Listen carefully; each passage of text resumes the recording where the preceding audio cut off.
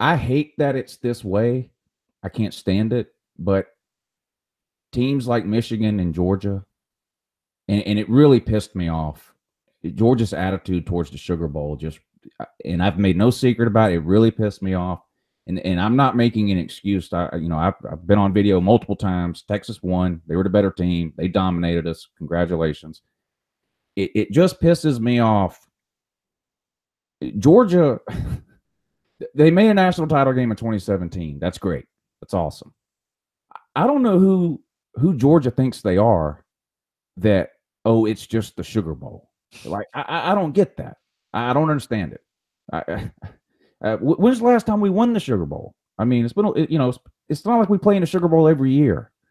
Um, the whole attitude surrounding the Georgia program leading up to the Sugar Bowl just really irritated me. Um, and so I think it's great that Florida went out and beat Michigan, but I think Michigan suffered from a lot of the same things that Georgia suffered from leading up to that game. Obviously, I don't follow the Michigan program as closely as I do Georgia or whatever, but Michigan was in a very similar spot to Georgia late in the season. You needed one more win. That's it. You know, you needed they Michigan needed that win over Ohio State, and they'd have been in a playoff, and they got blown out. Georgia needed to win over Alabama. They couldn't get it. They lost in one of the most demoralizing ways possible. Basically, a repeat of 2017. Huge halftime lead. Backup quarterback comes in and humiliates you. And Georgia just gave up at that point. I mean, players quitting that didn't play. Uh, half the players that did play should have quit. Um, it, it was embarrassing. As a Georgia fan, I was embarrassed at the performance and the product that Georgia put on the field. And the two people that I blame for that the most are Kirby Smart and Jake Fromm. Um, Kirby Smart's the head man.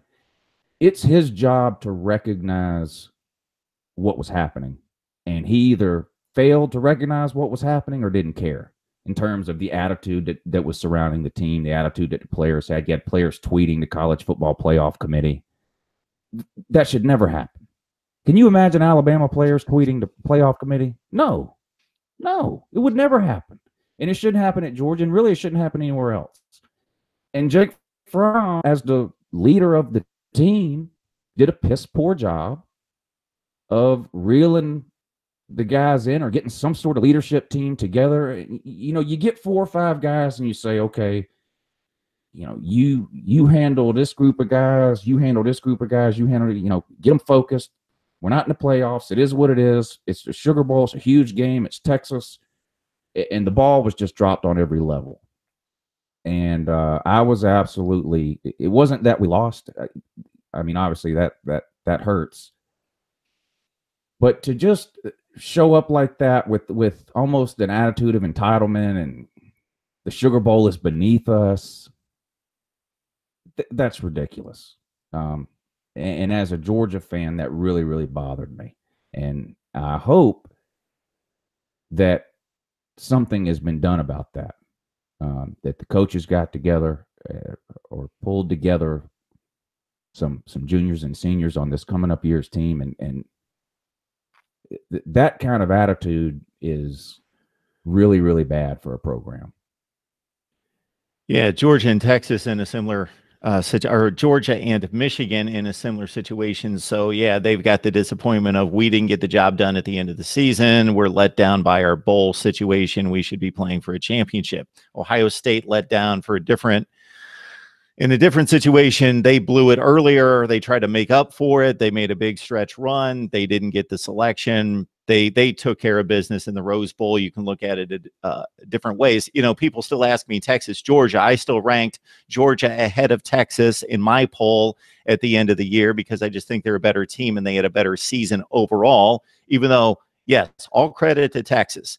They focused on the game. They played their hearts out they were ready, they were prepared, they got the job done. I think anytime there's a game to be played, that if you're a true competitor, you go out there and you lay your heart on the line, you get it done, and you don't make excuses.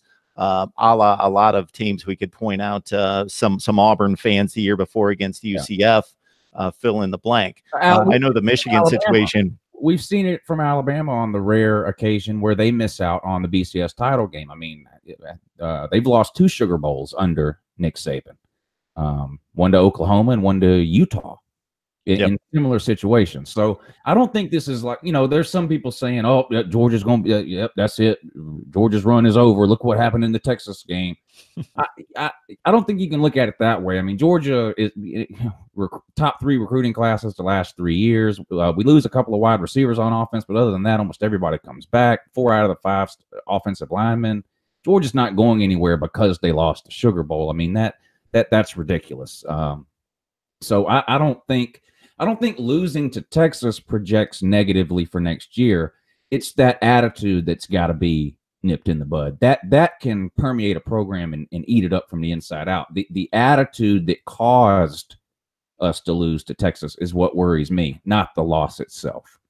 All right, folks. Uh, I encourage you to check out uh, LouTube. Just uh, again in the search, go to Uncle Lou YouTube, uh, LouTube. Any of those work, I think. You just throw them in there and and you find them, and uh, it's great stuff. It, it uh, you'll be entertained, you'll be informed. Uh, it's good stuff, and certainly you can mix it up with the uh, chat room as well. Lou, we appreciate you stopping by, man. It was a good time. Yeah, I always enjoy it, man. Thanks for having me on, and uh, hopefully we can do this again. Uh, maybe once we get uh, closer to the start of the season. Absolutely.